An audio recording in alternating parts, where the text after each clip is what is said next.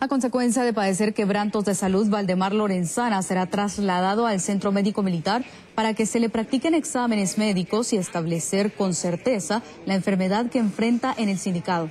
La autorización fue girada por el Tribunal Tercero de Sentencia Penal y Lorenzana es requerido por los Estados Unidos bajo la acusación de conspiración para el tráfico de droga.